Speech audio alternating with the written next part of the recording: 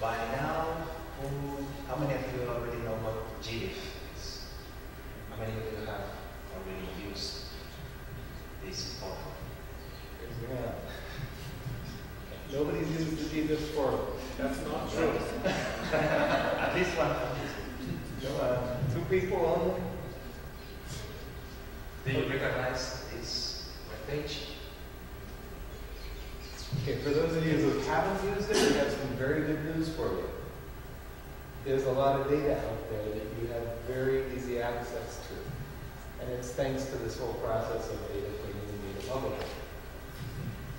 So, GBIF is a network of institutions that share publicly their data.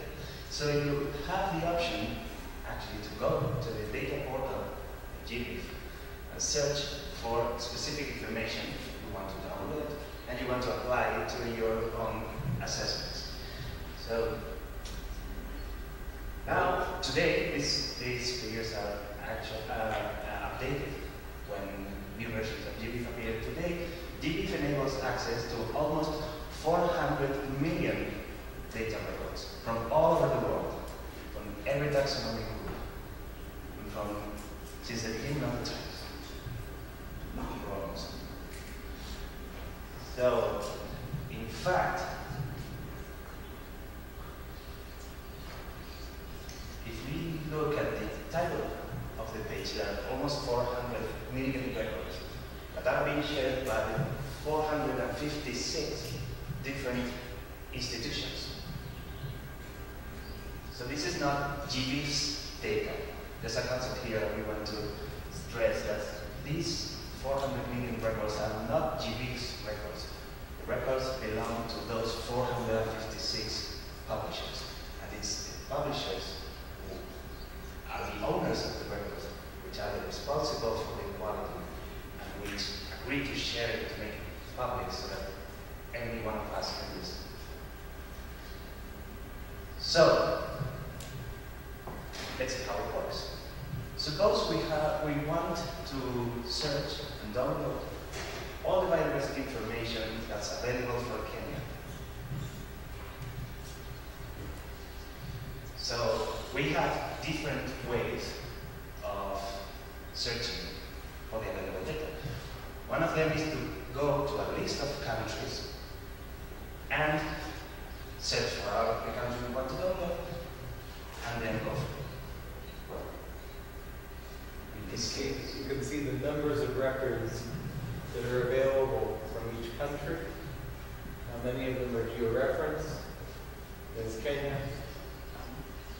So here we have the, in the GBIF network, the whole network, there are 277,000 primary biodiversity records that happen to be ideally in Kenya, of which 138,000 are georeferenced, have coordinates. The rest of the, the rest of the records don't have coordinates. But that's still useful. And by the way, that's an interesting bottleneck because you can double the amount of information from Kenya simply by the georeferencing step. You don't have to go out and digitize new specimen records.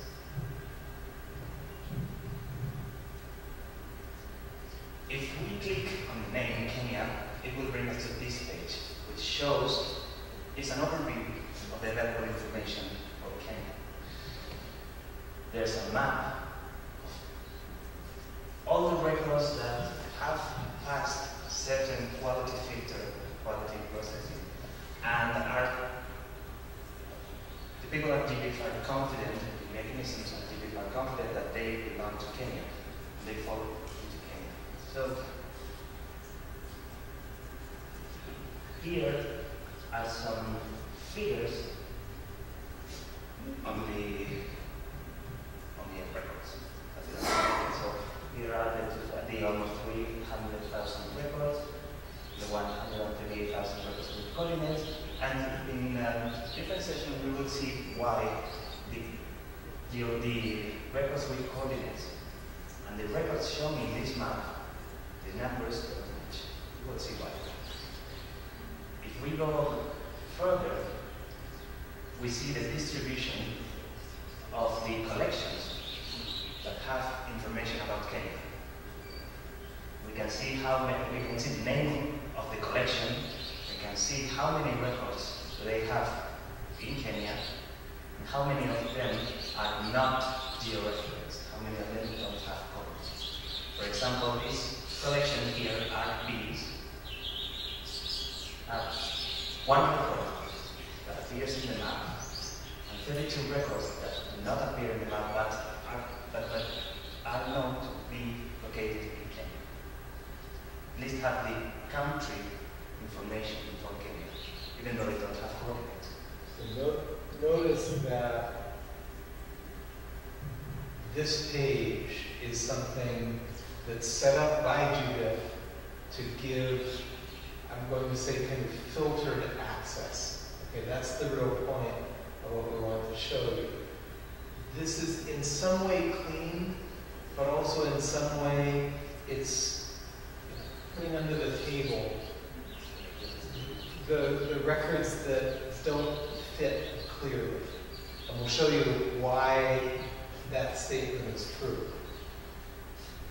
And the little last thing about this country page is that it also shows where are the institutions from that take this data. So for example, institutions from Belgium own 6,000 records 6,000 biodiversity records that have been recorded here in Kenya. So there's another way to access all this information. This is, these are prepared data sets, prepared queries for the most common users. Search for specific countries, search for specific uh, species, and explore specific data sets. It, it also has a search engine lets you go further and put all the filters you want so that you don't. You can download only the data that's of your interest. So this is an alternative to the country-based filter that we just showed you. So what, what Javier is going to do is he's going to say he wants all of the you know, class Aves. By now, So he has it reduced to just birds. I want to check the birds, and I'm going to add another filter that you can see.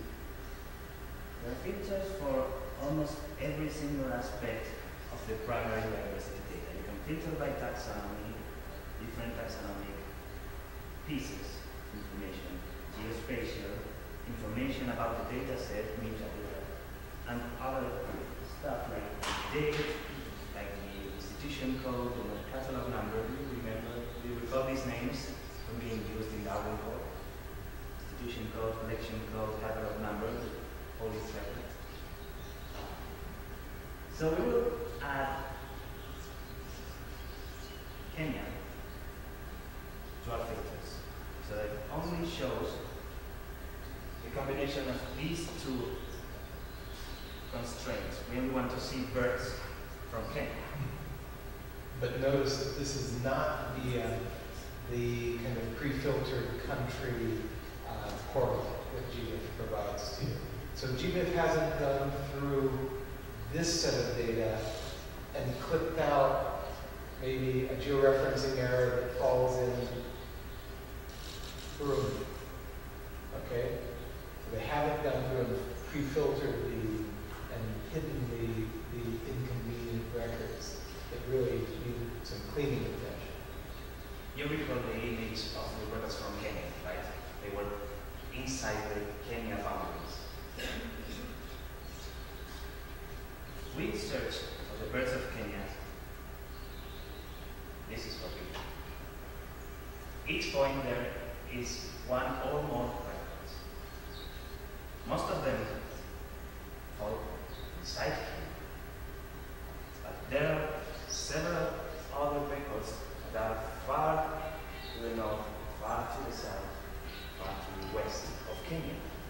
still, they have country information for Kenya.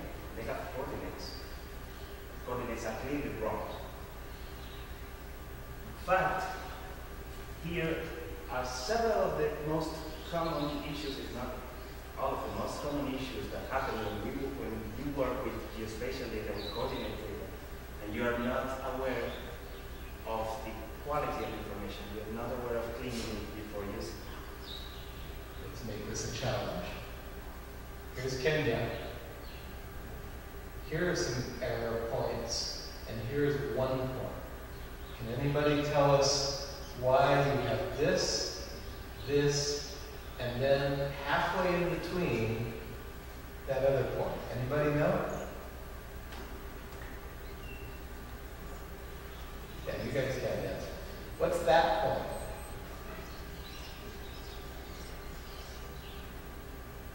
Who can tell the actual coordinates of that point? It's very easy, people, if you take a look at the whole picture. Look straight north from there and go right through London. Why would that be? Speak up. Exactly. So, so that is where somebody didn't leave the field blank, but instead put a zero. Now, what are these points? This is a bit more challenging. Anybody have a guess? Think about, okay,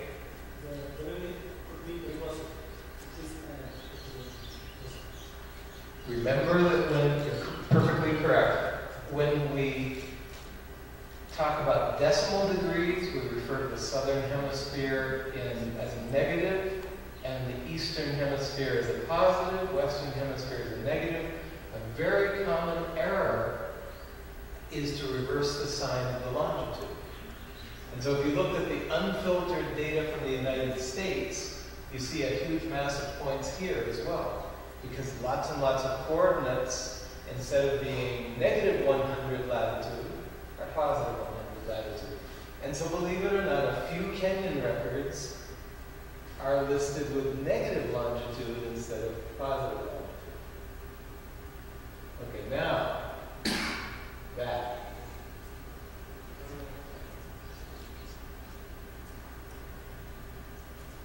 Anybody have any ideas?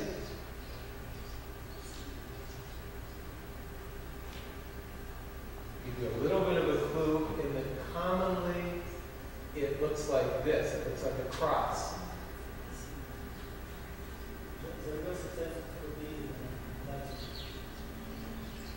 Okay, yes, you can get a splotch up here in the northern hemisphere, which would be getting the sign of the latitude wrong. That's correct.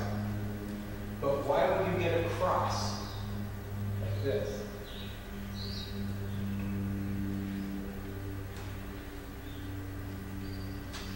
Think about it. If you make a mistake in one of the coordinates, but not both,